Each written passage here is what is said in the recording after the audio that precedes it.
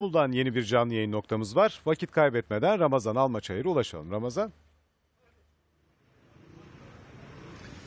Salih Nayman İstanbul'da da Barış Pınarı Harekatı'na destek Türkiye'nin dört bir yandan olduğu gibi İstanbul'dan da devam ediyor. Bu kez adres ise İstanbul Büyükşehir Belediyesi'nde işten çıkarılan işçiler. Kendilerinin emek mücadelesi devam ederken bir taraftan da Mehmetçi'ye destek açıklamasında bulunuyorlar. İşte burada arkadaşlar şu anda hali hazırda yaklaşık iki aya kadar devam eden bir e, e, hak arayışları vardı.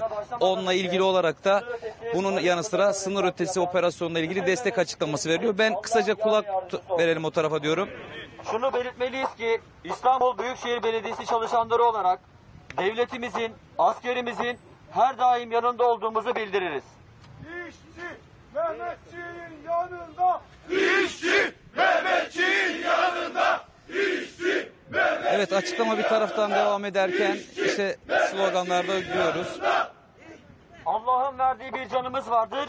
Bu can vatana da, millete de, Türk'ün geleceğine de bin defa kurban olsun. Bu fani bedenimiz mukaddesat ve mukadderatımız için feda ve armağan olsun. her Türk asker doğar.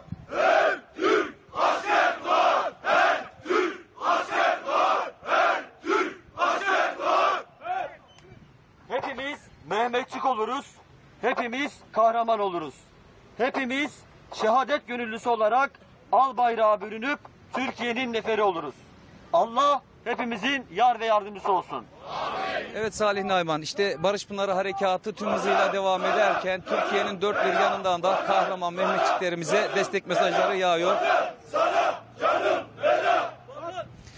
İstanbul Büyükşehir Belediyesi'nden işten çıkarılan işçiler de yaklaşık iki aya, iki aya yakın bir süredir burada işlerine geri dönmek için mücadelelerine devam ederlerken bugün de sınır ötesinde Barış Pınarı Harekatı'nı yürüten terör örgütü YPG, PYD unsurlarını yok etmek için o bölgeye huzur getirmek için e, mücadele eden e, silahlı kuvvetlere Mehmetçi'ye buradan selam gönderdiler ve basın açıklamasıyla da desteklerini ilettiler diyelim Salih Nayman.